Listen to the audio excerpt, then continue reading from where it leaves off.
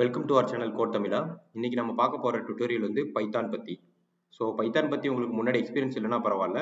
இந்த வீடியோ வரிசையாக பார்த்துட்டே வாங்க. உங்களுக்கு அதில் பைத்தான்னா என்ன அதோட யூஸ் கேசஸ்ஸு அப்புறம் கம்பைலர்ஸ் எப்படி இன்ஸ்டால் பண்ணுறது அப்படிங்கிறத நாங்கள் கவர் பண்ணுவோம். இன்னைக்கு நம்ம பார்க்க போகிறது டேட்டா டைப்ஸ் இன் பைத்தான் இது ஜஸ்ட் பிகினர் லெவல்ஸ்க்கு உள்ளது. ஸோ உங்களுக்கு இதுக்கு முன்னாடி பைத்தான் பற்றி தெரிஞ்சிருந்துச்சுன்னா இது உங்களுக்கு தேவைப்படாது. எந்த ஒரு அனு அனுபவம் இல்லாதவங்களுக்கு இது கவர் பண்ணுறோம் so data types in Python பார்த்தீங்கன்னா அதில் முக்கியமான ஒன்று நியூமரிக்ஸ் நியூமரிக்ஸில் நம்ம தெரிஞ்சிக்க வேண்டிய விஷயம் நியூமரிக்ஸில் integer float and complex numbers இருக்கும். இன்டிஜருங்கிறது ஹோல் நம்பர் இதெல்லாமே கவர் பண்ணுறது ஃப்ளோட்டுங்கிறது வந்து டெசிமல் காம்ப்ளெக்ஸ் நம்பர் உங்களுக்கே தெரியும். நம்ம அதை பற்றி இன்டெப்த்தாக பார்க்கலாம். இதில் நியூமரிக் பற்றி நம்ம தெரிஞ்சிக்க வேண்டிய சில முக்கியமான அம்சங்கள் நியூமரிக்ஸ் வந்து மியூட்டபிள் மியூட்டபிள்னா அதை நம்மளால திருப்பி மாற்றி எழுத முடியும். அதான் அதோட அர்த்தம். ஸோ அதில் வேரியபிள் வேல்யூ இந்த ரெண்டு இதை பற்றி பார்க்கணும். ஸோ ரியல் டைம் சினாரியோவில் அது எப்படி யூஸ் ஆகும்னு பார்க்கலாம். இப்போ நான் ஏ ஈக்குவல் டு ஃபைவ் அப்படின்னு கொடுக்குறேன்னா இதில் ஏங்கிறது வந்து வேரியபிள் ஃபைங்கிறது வந்து வேல்யூ ஸோ இப்போ நான் பிரிண்ட் ஏன்னு கொடுத்தா அது எனக்கு ஃபைன்னு ரிப்பீட் பண்ணும். நான் மியூட்டபிள்னு ஒரு சினாரியோ சொல்லியிருந்தேன். அதுக்கு அர்த்தம் என்னன்னா இப்போ நான் ஏ ஈக்குவல் டு சிக்ஸ் அப்படின்னு கொடுக்குறேன். இப்போ நான் பிரிண்ட் ஏ கொடுத்தா அது எனக்கு சிக்ஸ்ன்னு ரிப்பீட் பண்ணும். இதுக்கு அர்த்தம் என்னன்னா இனிஷியலாக நான் ஏங்கிறது அஞ்சுன்னு சொல்லியிருந்தேன். அதுக்கப்புறம் நான் வந்து இல்லை இல்லை ஏ அஞ்சு இல்லை ஏ வந்து ஆறு அப்படின்னு சொல்கிறேன் ஸோ பைத்தான் அதை அண்டர்ஸ்டாண்ட் பண்ணிட்டு நமக்கு ஆறுங்கிறத ரிட்டர்ன் பண்ணும். இப்போ நம்ம அடுத்த டேட்டா டைப்புக்குள்ள போகலாம் அடுத்து நம்ம பார்க்க போகிற டேட்டா டைப் வந்து லிஸ்ட் லிஸ்ட்டுங்கிறது வந்து லிஸ்ட்டில் நம்ம தெரிஞ்சுக்க வேண்டிய மூணு விஷயம். இது ஒரு heterogeneous mutable positive and negative indexing indexing அப்படின்னா என்னங்கிறத நான் உங்களுக்கு சொல்கிறேன் ரியல் டைம் சினாரியோவில் ஹெட்ரோஜினியஸ்க்கு அர்த்தம் என்னன்னா லிஸ்ட்டுக்குள்ள ஒரு நியூமரிக் இருக்கலாம் ஸ்ட்ரிங் இருக்கலாம் மல்டிபிள் டேட்டா டைப்ஸ் உள்ளேயே இருக்கலாம். சி ஈக்குவல் டு ஒரு லிஸ்ட் கிரியேட் பண்ணுறேன் அதுக்குள்ள ஒரு இன்டீஜர் ஒரு ஃப்ளோட் அப்புறம் ஒரு ஸ்ட்ரிங் இப்போ நான் சீன் பிரிண்ட் பண்ணனா இது ஒரு லிஸ்ட் ஸோ இந்த லிஸ்ட்ல இண்டெக்ஸிங் அப்படின்னு ஒரு டாபிக் முன்னாடி சொல்லியிருந்தேன். அந்த டாபிக் என்னன்னா பாசிட்டிவ் இண்டெக்ஸிங்கிறது ஜீரோ ஒன் டூ த்ரீ அப்படிங்கிறத நம்ம கால் பண்ணலாம். எக்ஸாம்பிளுக்கு சி ஆஃப்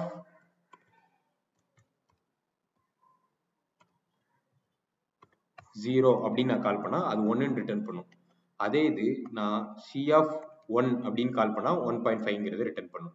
நெகட்டிவ் இண்டெக்ஸுங்கிறது பின்னாடி இருந்து ஒரு லிஸ்ட்டை கால் பண்ணுறது அதாவது minus one minus two minus த்ரீன்னு கால் பண்ணுறது சி ஆஃப் மைனஸ் ஒன் அப்படின்னு கொடுத்தா எனக்கு அது டெஸ்ட்டுங்கிறது ரிட்டர்ன் பண்ணும்.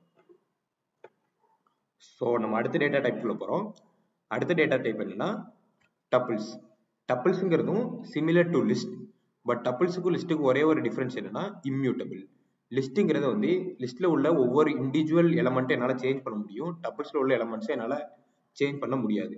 உதாரணத்துக்கு நான் ஆல்ரெடி சிங்கிற ஒரு லிஸ்ட்டு போட்டிருந்தேன். இப்போ அந்த லிஸ்ட்டில் உள்ள ஃபர்ஸ்ட் எலமெண்ட்டை நான் சேஞ்ச் பண்ணணும்னா C of zero equal to four அப்படின்னு கொடுக்குறேன். இப்போ நான் பிரிண்ட் சீன் கொடுத்தா அது எனக்கு ஃபோர் ஒன் பாயிண்ட் ஃபைவ் ஃபைவ்ங்கிறத ரிட்டர்ன் பண்ணும். இனிஷியலாக நான் கொடுத்துருந்தது one one point five test இப்போ நான் ஒரு டப்பிள் கிரியேட் பண்ணுறேன் example T of one comma one point five comma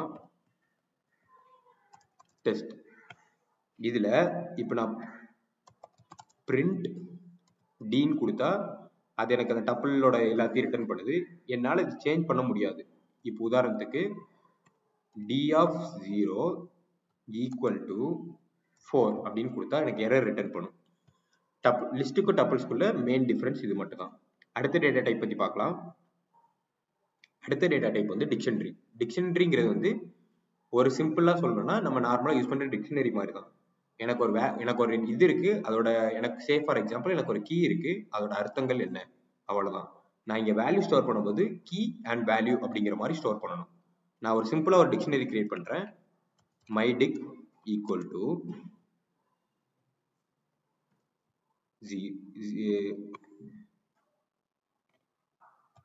key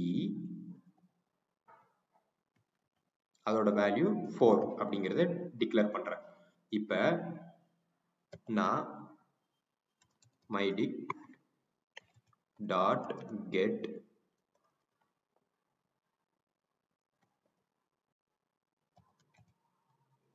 key அப்படின்னு கொடுத்தா எனக்கு ஃபோர் அப்படிங்கிறது ரிட்டர்ன் பண்ணும். டிக்ஷனரி வந்து மியூட்டபிள் சே என்னால் டிக்ஷனரியில் உள்ள அந்த எலமெண்ட்டை வந்து என்னால் சேஞ்ச் பண்ண முடியும். அதுதான் இதோட அர்த்தம். இப்போ நம்ம அடுத்த கேஸ் பார்க்க போகிறோம் செட்ஸ் செட்ஸுங்கிறது வந்து collection of unique elements and it is also mutable இதுக்கு அர்த்தம் என்னன்னா செட்ஸுக்குள்ள யூனிக்கான எலமெண்ட்ஸ் மட்டும் தான் ஸ்டோர் பண்ண முடியும். உதாரணத்துக்கு நான் இப்போ ஒரு லிஸ்ட் ஒன்று கிரியேட் பண்ணுறேன் S equal to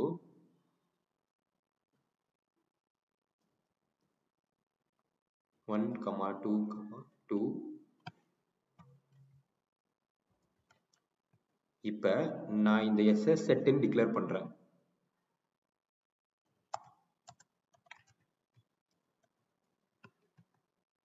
இப்போ நான் பிரிண்ட் எஸ்ன்னு கொடுத்தா அது எனக்கு one comma two comma four comma ஃபைவ்ங்கிற return பண்ணும்.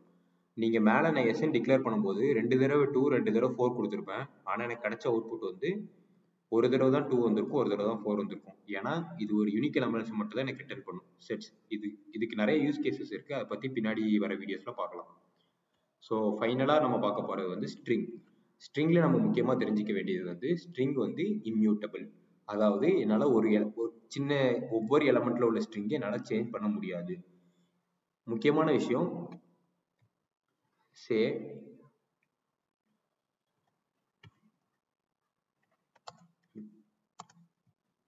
ஸ்ட்ரிங்கை நான் டிக்ளேர் பண்ணும்போது ஓப்பன் ப்ராக்கெட் க்ளோஸ் ப்ராக்கெட்குள்ளே டிக்ளேர் பண்ணணும் பைத்தானை பொறுத்த வரைக்கும் சிங்கிள் ப்ராக்கெட்னாலும் பரவாயில்ல டபுள் டபுள் கோட்ஸ்னாலும் பரவாயில்ல. அது ரெண்டுத்தையுமே ஒன்றா தான் எடுத்துக்கும்.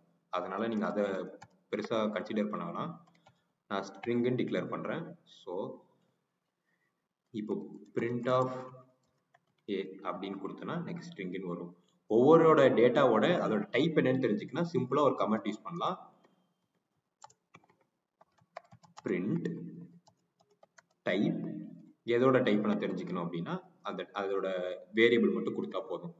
அது எனக்கு எஸ்டிஆர்னு ரிட்டர்ன் பண்ணிச்சுன்னா அந்த டைப் வந்து ஸ்ட்ரிங்குன்னு அர்த்தம். ஸோ இன்னொரு முக்கியமான விஷயம் பைத்தான் வந்து கேஸ் அண்ட் ஸ்பேஸ் சென்சிட்டிவ் இதுதான் இப்போதைக்கு பிக்னர் லெவலில் நம்ம தெரிஞ்சிக்க வேண்டிய விஷயம். அடுத்தடுத்து நாங்கள் போட போகிற வீடியோஸ் பாருங்கள் அதில் intermediate levels and higher and வெர்ஷனை நாங்கள் கவர் பண்ணுவோம். நன்றி. பார்த்த வரைக்கும் உங்களுக்கு எதனா டவுட் இருந்துச்சுன்னா நீங்கள் கமெண்ட்டில் என்கிட்ட கேட்கலாம். அது போக உங்களுக்கு வேறு ஏதாவது விஷயங்கள் பைத்தானில் தெரிஞ்சுக்கணும் இல்லை மற்ற ப்ரோக்ராமிங் லாங்குவேஜ் பற்றி சின்ன சின்ன டவுட்ஸ் இருக்குன்னா நீங்கள் கமெண்ட் பாக்ஸில் போடலாம். நாங்கள் உங்களுக்கு அதில் பேசுவோம்.